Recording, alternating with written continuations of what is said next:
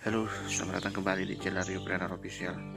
Kali ini saya berada di kebun kacang tanah ya. Kebun kacang tanah. Jadi teman-teman bisa lihat di belakang. Nah, di belakang saya, Bro. Alhamdulillah ya dalam walaupun dalam kondisi corona ya. Tapi masih tetap um, produktif untuk melakukan kegiatan-kegiatan yang memang uh, kita tidak bisa lakukan di luar.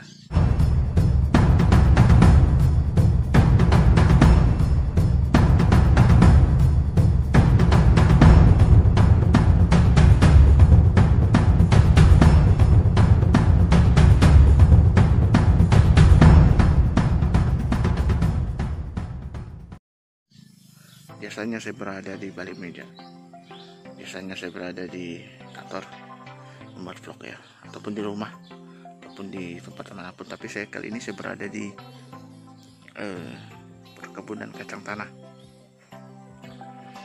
Uh, teman-teman semuanya biasanya kita melihat ada kacang dua, dua kelinci ada kacang yang lainnya ya tapi tapi banyak nggak tahu ya seperti apa sih batang ya, apa namanya batang kacang tanah susah amat nyebutnya. Uh, ya inilah kawan-kawan tadi saya lihat kan bukan kalau buah yang buah yang lain itu biasanya buahnya di tas ya. Tapi kalau ini buahnya di bawah. Kurang lebih ubi lah ya kan. Tapi nanti kalau ini sudah panen nanti saya ada videokan lagi. Uh, mudah-mudahan nanti umur panjang ya. Ini diperkirakan panen ini sekitar dekat-dekat uh,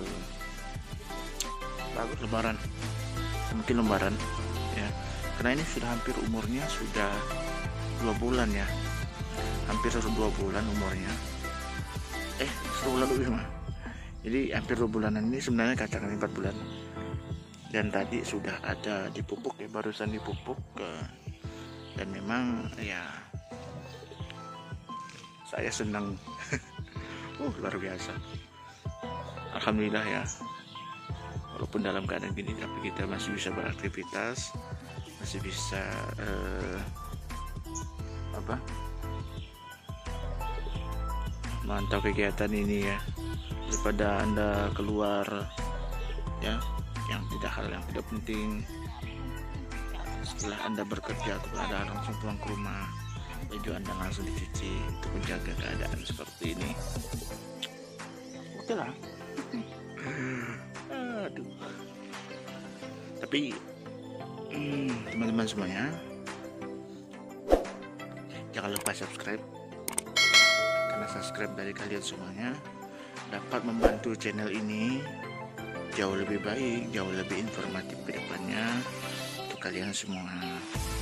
Uh, ya,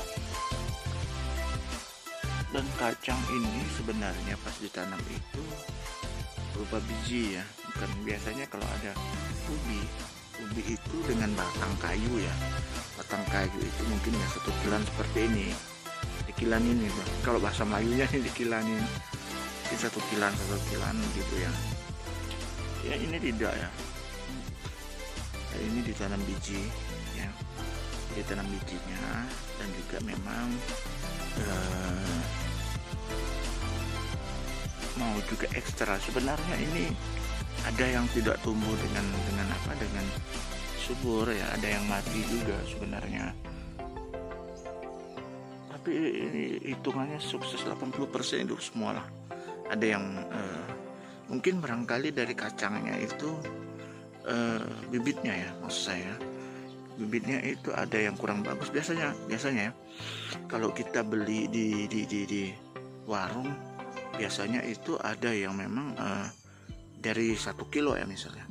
Dari satu kilonya itu biasanya ada yang kurang kurang bagus ya kurang baik atau kurang bibitnya biasa ada yang buruk ya. Tapi ya banyak juga kita temukan ya kan? Banyak kan? Ya kan? Uh, dalam satu kilo ada satu bahkan satu on. Biasanya kalau kita beli kacang rebus di pasar kan biasanya kan ada tuh yang pakai gerobak tuh kan. Kok kacang rebus itu kan biasanya kan eh, apa namanya? Yang ini dia ya kan? Jadi untuk bibit juga saya kembali uh, kembali lagi. Di bibitnya juga seperti itu gitu ya.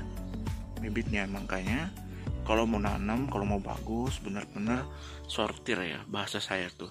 Bibitnya tuh disortir uh, supaya tidak uh, apa namanya ya tidak ya